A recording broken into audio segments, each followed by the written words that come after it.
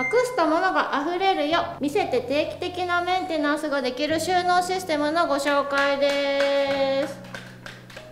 ということで今日はヴィンテージの FM システムのご紹介です。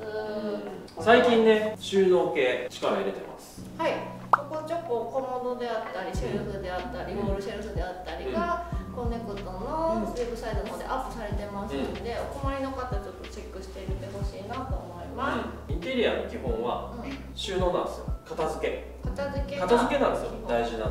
はい、これに関してはデンマークの代表的な収納システムですね。はい、じゃあちょっと紹介こっち紹介していきましょう行きましょうか。はい。こちらが FM システムになります。カイ・クリスチャンセンっていう方がデザインされた収納システムで、うん。こうやって見てもらったら分かるように壁に支柱をつけてそこに好きなようにこう棚板だったりとかキャビネットをつけてうん自分の好みでできるモジュラ高さー調整そうですねここの穴にこう立てたでこちらなんですけどお値段が41万8000円税込みです。うん。ワイドですね。これ2円タイプなんですけど、えー、と174センチ。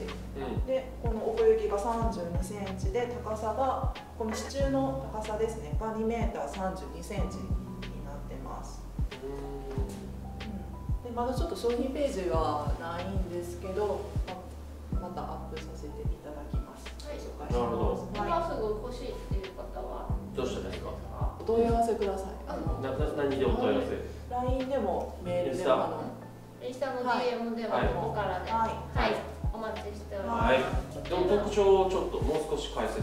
そうですね。え、いいところをちょっと発表していきます。はい。はい、じゃあこの FM システム何がいいのっていうところで、えっとまず3つあるんですけど物量が把握できるオープン棚となっております、最初ちょっとなぞりますよ。で2個目奥行きが浅くコンパクト空間でも設置できます、3つ目床が見えて部屋が広く見えます。ということでまず物量が把握できるオープン棚っていうのを見ていきましょう。だから収納といえばついつい隠しがち。はい、はいで隠すところもいるんだけれども、うん。これ全部隠しちゃうと圧迫感も出るし、う扉閉めちゃうと中にどれぐらい物が入っているかっていうのがまあ非常にこう把握しにくくなるじゃないですか、うんうん。で把握しにくくなるとどんどんどんどんそこって実は物が増えやすい。気づいたらパンパンになります、うん。徐々に徐々に手前に物が溢れてくる、うん、ここはか開けんくなるそうそうでここから取るんだね。こう結局ね。うん。あのちょっと僕もやりがちです、あのはい。塞ぐとそうしがちなんで、うんうんまあ、そもそもはい。隠すところはあってもいいが、まあ、できるだけその物量が見える状態にしておいた方が、健全ですよね意識的に減らさなきゃ、あこれもういらんのじゃない？っていうという提案ですよね。はい。はい。ということが、うん。えー、と1個目物量が把握できるオープン棚です、はい。2個目奥行きが浅くコンパクト空間に設置できる。一番出っ張ってるところでも32センチ32センチです。うん。でノートパソコンが入る奥行きになってます。うん。でなんでこんなに狭いかっていうともう見たら分かるように背面に板がないからその分狭いところでもこういう浅いスペースで設置できるっていうのが特徴になります。特徴ですね。家ごと収納家具にしちゃおうよっていう感じですかね、うん。だけどあの造作家具より全然つきやすいと思います、う大工さん頼んで見積もりやって、計画立ててできたけどうんなんかそんなええ雰囲気かな、うん分からんけどまあよしとしよう。よりは全然何十年も引き継がれてるヴィンテージのこの雰囲気いいやついいやつつけた方が全然いいやつ、はいいいと思い。ますはいはい、ということでここパソコンもあのよくこれぐらいねスタッフしてますね。3 0ンチあるとこれぐらいは全然。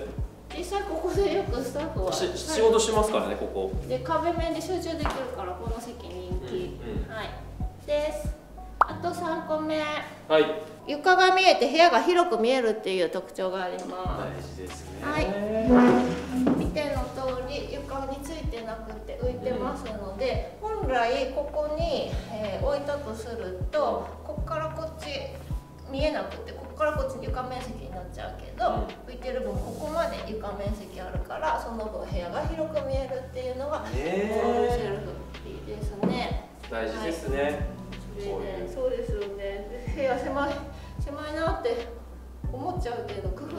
でなんとかなる、今日ね打ち合わせしてたんですけど、はい。じゃあこれどこにつけるのがおすすめなんだろうねっていう話をした時にリビングとかダイニングとかまあもちろんなんですけど子供部屋？はい。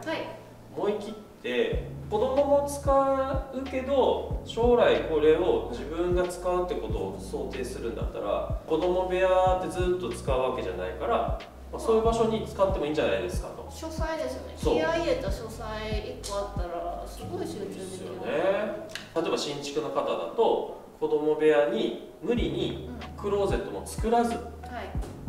こういうのをせ壁に設置してデスクも兼ねてますからね、うんうんうん。っていうことができちゃいますよと。ぜひ書斎よかったらあご検討くださはい。いということで。じゃあコーディネートコーナーでした。はい。子供部屋子供デスク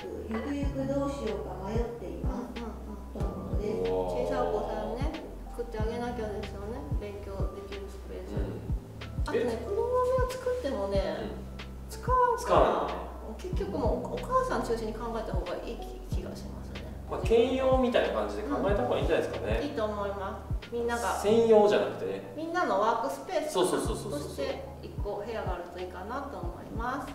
部屋数が少なくてもね。もうそういうできる。できる。はい。ということで。す、はい